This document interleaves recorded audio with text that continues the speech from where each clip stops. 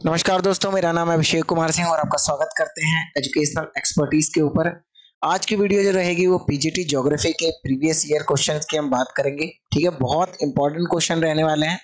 Video को अंत तक ज़रूर देखें क्योंकि आपको इसके अंदर बहुत सारी नई चीज़ें सीखने को मिलने वाली है। तो आप यहाँ पहला क्वेश्चन देख पा रहे हैं। पीर पंजाल श्रेणी जिसका अंग है, वह कौन सा हिमालय है? यानी पीर पंजाल श्रेणी जो है, क्या वो उप हिमालय का हिस्सा है या लघु हिमालय का हिस्सा है, आंतरिक हिमालय का हिस्सा है या ट्रांस हिमालय का हिस्सा है। तो जो दोस्तों पीर पंजाल है, वो आपका लघु हिमालय का हिस्सा है, ठीक है? तो लघु हिमालय को हम मध्य हिमालय भी कहते हैं, लेसर हिमालय भी कहते हैं और हिमाचल हिमालय भी कहते हैं। तो ये चार उसके और नाम है, ये भी याद रखिएगा। अब देखिए होता क्या है? वृद्ध हिमालय के दक्षिण में समानांतर रूप से यह स्थित है। यानी इस तरीके से ये जो है माउंटेन रेंजेस है। ठीक है तो ये आपकी पहली हो जाएगी कराकोरम हो जाएगी, याद रखेंगे। दूसरी आपकी हो जाएगी लद्दाख, ठीक है। तीसरी आपकी हो जाएगी जास्कर। तो इस तरीके से नॉर्थ से साउथ का सीक्वेंस भी आपसे पूछा जाता है। पर हम बात कर लघु हिमालय की तो इसकी चौड़ाई 10 से 100 किलोमीटर के आसपास है। औसत ऊंचाई 3000 मीटर है। किंतु अधिकतम ऊंचाई जो है वो आपकी 5000 मीटर तक पाई जा सकती है। तो कुछ श्रेणियाँ हैं जो बहुत इंपॉर्टेंट है, जिसमें आपका पीर पंजाल है, जो कि झेलम और व्यास नदियों के बीच में कश्मीर में है और पीर पंजाल श्रेणी में बनिहाल और पीर पंजाल दर्रे हैं। जो जम्मू कश्मीर को श्रीनगर से जोड़ते हैं। अब यहाँ से एक क्वेश्चन आया हुआ है पीजीटी में कि जो बनिहाल दर्रा है वो किन दो शहरों को जोड़ता है तो वो आपका हो जाएगा जम्मू कश्मीर और आपका हो जाएगा श्रीनगर, ठीक है? वहीं अगर मैं बात करता हूँ धौलाधर श्रेणी की तो ये आपका हिमाचल प्रदेश और उत्तराखंड में देखी जाती है। उसके बाद नागटिप्पा और मसूरी श्रेणी, जो कि उत्तराखंड के अंदर मौजूद है, और वहीं जो चौथी है वो है महाभारत श्रेणी, जो कि नेपाल के अंदर आपका मौजूद है। ठीक है? उसके बाद है कि लघु और मध्य हिमालय के में कश्मीर घाटी व हिमाचल की कांगड़ा, लाहौल स्पीति घाटियाँ और फलों की कृषि के लिए बहुत ज़्यादा फ़ेमस है। तो यहाँ पे आपको सेब की खेती, अरा, अखरोट जैसे फल की खेती आपको यहाँ बहुत ज़्यादा देखने को मिलेगी। और जितने भी टूरिस्ट प्लेस हैं, जैसे शिमला, मसूरी, नैनीताल, दार्जिलिंग, रानीखेत, ये सभी इसी श्रेणी के अंदर मौजूद होते हैं। उसके बाद इस श्रेणी के उच्च ढालों पर कोणधारी वन और निचले ढारों पर आपके घास के मैदान देखे जाते हैं। कश्मीर में मर्ग जैसे गुलमर्ग और सोनमर्ग, ये भी याद रखेंगे। और उत्तराखंड में बुग्याल और पयार, ये दो चीज़ें पाई जाती हैं। तो यहाँ से भी एक क्वेश्चन पीजीटी पीजीटी में ही आया था कि बुग्याल और पयार कहाँ पर पाए जाते हैं तो वो आपका हो जाएगा उत्तराखंड। चलिए, अगला क्वेश्चन देख लेते हैं। सेकंड जिसमें अक्षांश और रेखाओं के मध्य दूरी भूमध्य रेखा की ओर कम होती है, वह कौन सा प्रक्षेप है? तो वो आपका हो जाएगा ध्रुवीय खम्बद्य सम क्षेत्रफल प्रक्षेप, ठीक है? अब इसकी रचना जो है वो जे एच लेम्बर्ट ने करी थी याद रखेंगे, ठीक है? तो किसकी? Polar zenithal equal area projection की खोज जे एच लेम्बर्ट ने करी थी, जो कि एक मानचित्रकार थे। इसे लेम्बर्ट का ध्रुवीय खम्बत मध्य समक्षेत्र प्रक्षेत्र भी कहा जाता है। अब होता क्या है इसमें? अक्षांश रेखाओं के मध्य दूरी ध्रुवों से भूमध्य रेखा की तरफ़ कम होती जाती है। देखिए, यहाँ ध्रुवों पे तो ज़्यादा है, पर भूमध्य रेखा पे क्या हो जाती है? कम होती चली जाती है। तो ये चीज़ याद रखेंगे। बाहर से अंदर की तरफ़ कम हो रही है।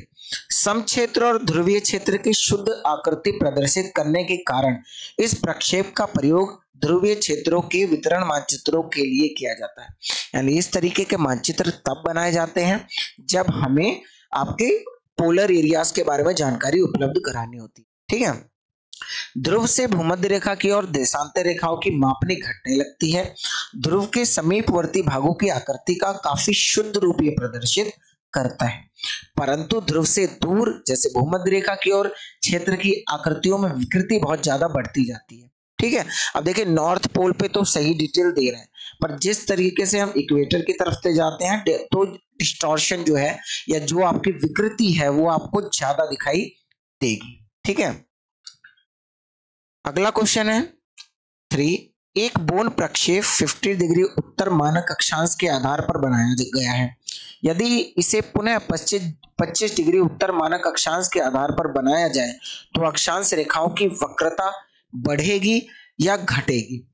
ठीक है? तो तब वक्रता क्या होगी? घटेगी, याद रखेंगे। तीसरा ऑप्शन घटेगी। ठीक है? चलिए। अगला क्वेश्चन है केंद्रीयता के जिस माप से विचलनों के वर्ग का योग न्यूनतम होता है वह क्या कहलाता है? तो वह वह आपका होता है माध्य। ठीक है? क्या होता है आपका? माध्य। ठीक है? अब इसमें हमेशा पद विचलनों का योग क्या होगा? शून्य होगा। मेन चीज़ ये है। अब पद विचलनों के वर्गों का योग भी क्या होगा? न्यूनतम होगा। चरम मानों का प्र, चरम मानों का प्रभाव पड़ता है इसके ऊपर। चरम मानों का प्रभाव अधिकतम होता है। ये चीज़ भी याद रखिएगा। माध्य केंद्रीय प्रवृत्ति को प्रदर्शित करने का सबसे आसान तरीका है, सबसे आसान तरीका माध्य है। अब वही बात करते हैं हम, किसी वितरण में सबसे अधिक बारंबारता वाले मूल्य को हम क्या कहते हैं? तो कोई भी अगर श्रेणी में बार बार बहुत बार नंबर आया है तो वो बहुलक कहलाता है, ये चीज़ याद रखेंगे। अब बहुलक का फॉर्मूला क्या है? बहुलक बराबर तीन माध्य का माइनस दो माध्य, याद रखिएगा। ठीक है? कभी कभी आपके एग्ज़ाम में फॉर्मूले भी पूछ लिए जाते हैं। यदि समंकों में कोई स्थिरांक घटा दिया जाए तो उसका प्रमाप विचलन क्या होगा? तो उसका प्रमाप विचलन जो है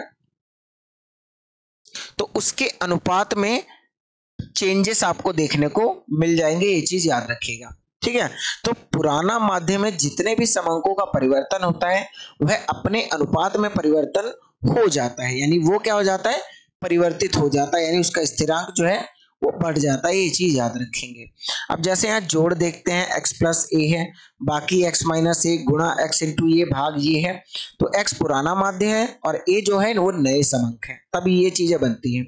अगर मैं गुणा बराबर नया वेरिएंस ए स्क्वायर इंटू पुराना वेरिएंस स्क्वायर तो फॉर्मूला हमारा क्या निकल के आ जाता है? एच डी पुराना एच डी अपॉन में ए निकल के फॉर्मूला आ जाता है। तो उसमें आपको बढ़ता हुआ नंबर ही दिखाई देगा।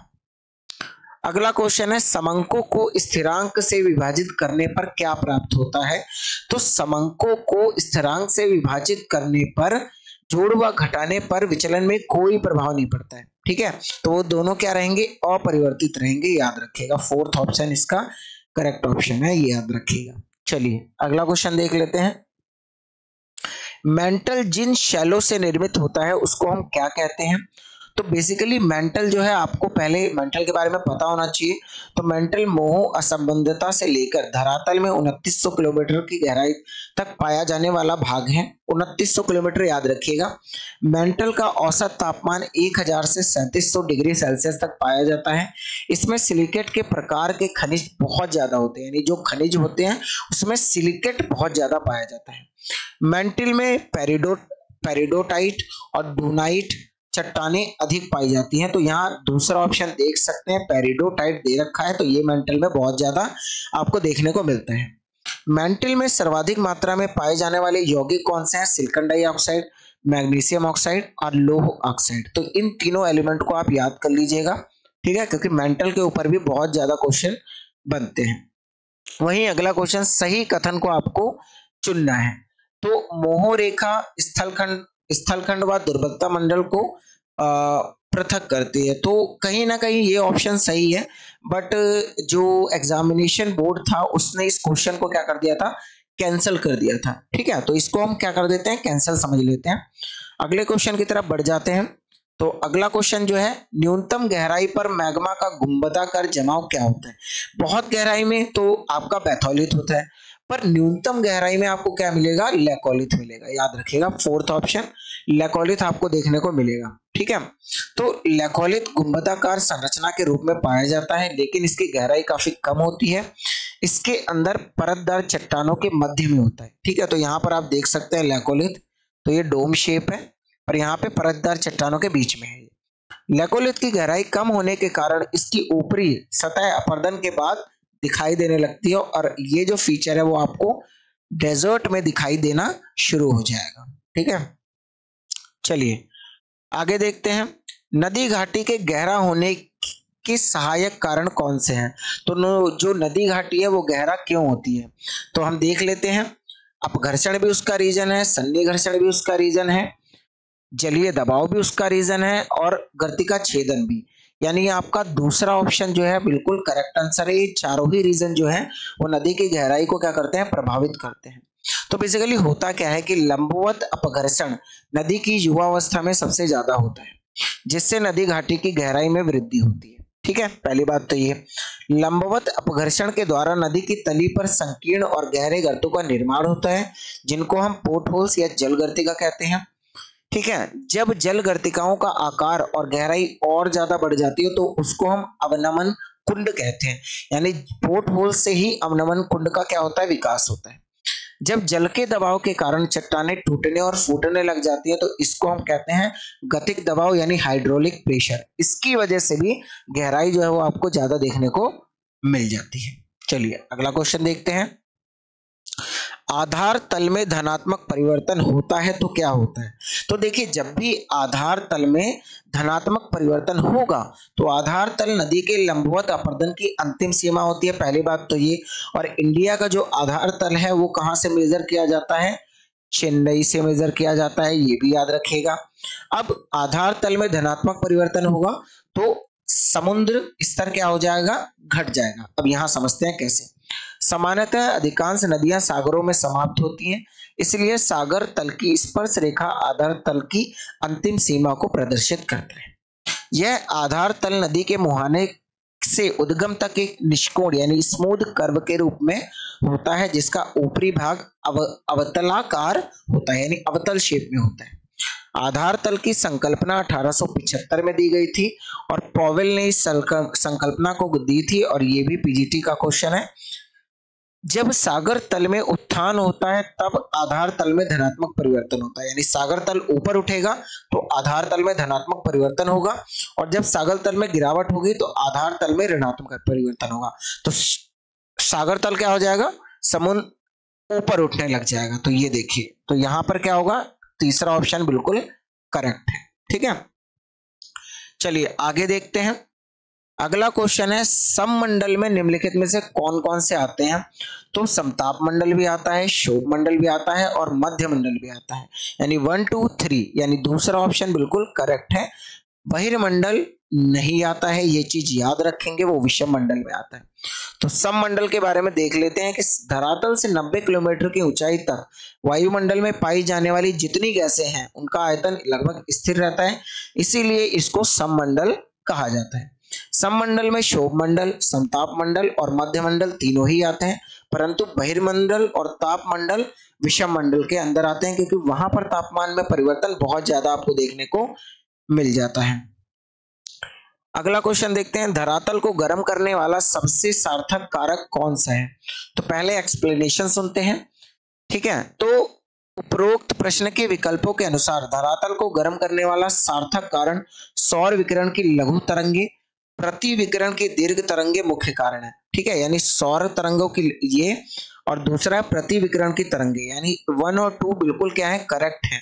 ठीक है? अब क्यों? वायुमंडल के द्वारा पार्थिव विकिरण का पुनः धरातल की ओर विकिरण करना प्रति विकिरण या प्रतिलोम विकरण, यानी इसको हम काउंटर रेडिएशन कहते हैं। तो प्रतिविकरण की प्रक्रिया मुख्यतः कार्बन डाइऑक्साइड गैस द्वारा होती है और जलवाष्प के द्वारा होती है। अब होता क्या है कि जब आपका पार्थिव विकरण होता है तो जो कार्बन डाइऑक्साइड गैस है और जो आपका जलवाष्प है, वो उस गर्मी को एब्जॉर्ब करके दोबारा धरातल की तरफ़ क्या करता है, उसको भेज देता है। जिसकी वजह से हमारा जो धरातल है, वो गर्म रहता है। प्रतिविकरण के प्रभाव से धरातल और निचले वायुमंडल में ऊष्मा बनी रहती है, जिसके कारण हरित ग्रह जो प्रभाव है वो बढ़ जाता है और हरित ग्रह प्रभाव बढ़ने की वजह से ग्लोबल वार्मिंग भी क्या होती है? बढ़ जाती है। चलिए आगे देख लेते हैं अगला क्वेश्चन। यदि पृथ्वी पर किसी प्रकार का संचरण नहीं होता है तो हम तापमान अनुभव कैसा करेंगे? तो हम तापमान अधिकतम विषम अनुभव करेंगे। कहीं बहुत ज़्यादा हो जाएगा और कहीं बहुत ही ज़्यादा कम देखने को मिल सकता है। ठीक है? अगला है समताप रेखाएँ उन स्थानों को मिलाती है जहाँ पर क्या होता है? तो समताप रेखाएँ नाम से ही पता लग रहा है अभिलिखित तापमान समान हो। यानी जिन क्षेत्रों का समान तापमान होता है, उन क्षेत्रों को मिलाने वाली रेखा को क्या कहते हैं हम? समताप रेखा कहते हैं। ये चीज़ याद रखिए। अब स्थलीय ऊंचाई के कारण उत्पन्न तापीय भिन्नता को दूर करने के उद्देश्य से वास्तविक तापमान को सागर तल के बराबर घटा दिया जाता है, घटा लिया जाता है।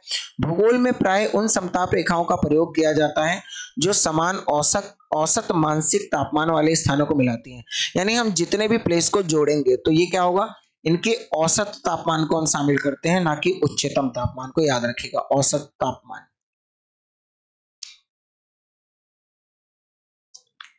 अगला जो क्वेश्चन है, देखते हैं, किसी दिए हुए वायु के द्रव्यमान में उपलब्ध जलवाष्प के द्रव्यमान को क्या कहते हैं? तो ये भी क्वेश्चन जो है, इसको भी संस्था ने क्या कर दिया था? कैंसिल कर दिया था। परंतु याद रखिए, दिए हुए वायु के द्रव्यमान में उपलब्ध जो जलवाष्प होती है, उसको हम क्या कहते हैं? उसको हम निरपेक्ष, यानी निरपेक्ष आर्द्रता के नाम से जानते हैं, ये याद रखिएगा। चलिए, अगला क्वेश्चन है। बढ़ते तापमान पर वायु की आर्द्रता धारण करने की क्षमता क्या होगी? अगर तापमान बढ़ेगा तो वायु की आर्द्रता धारण करने की क्षमता क्या हो जाएगी? बढ़ जाएगी। वो भी बढ़ती दर से बढ़ेगी, याद रखेंगे। ठीक है? नाइनटीन क्वेश्चन ऊर्ध्व विकसित मेघ का प्रकार क्या है? तो ये भी संस्था ने इस क्वेश्चन को कैंसिल कर दिया गया था। तो आज का जो आखिरी प्रश्न है, वो ये है। कि ध्रुवों की ओर विक्षेपण बल बढ़ता है या घटता है। तो देखिए, अगर मैं बात करता हूँ विक्षेपण पर, भूमध्य रेखा पर शून्य होता है और सबसे अधिक कहाँ होता है? वो आपका होता है पोल पे। ठीक है तो इसका मतलब बढ़ता है, याद रखेंगे। ठीक है? तो पृथ्वी के घूर्णन के कारण उत्पन्न बल, जिसके परिणाम स्वरूप हवाओं की दिशा बदल जाती है, उसको कोरियोलिस बल कहते हैं। और देख सकते हैं, ध्रुवों पर क्या होता है? छियासी दशमलव सात प्रतिशत होता है और आपका तीस डिग्री पर पचास प्रतिशत होता है और शून्य पर शून्य प्रतिशत होता है। तो आज के लिए इतना ही। कल मिलते हैं एक और नए वीडियो के साथ। सो अगर वीडियो पसंद आई है तो प्लीज़ चैनल को सब्सक्राइब कर दीजिए एंड वीडियो को लाइक करिए और वीडियो को जितना शेयर हो सके, उतना शेयर करिए। एंड कल मिलते हैं एक और इन्फॉर्मेटिव वीडियो के साथ। Bye guys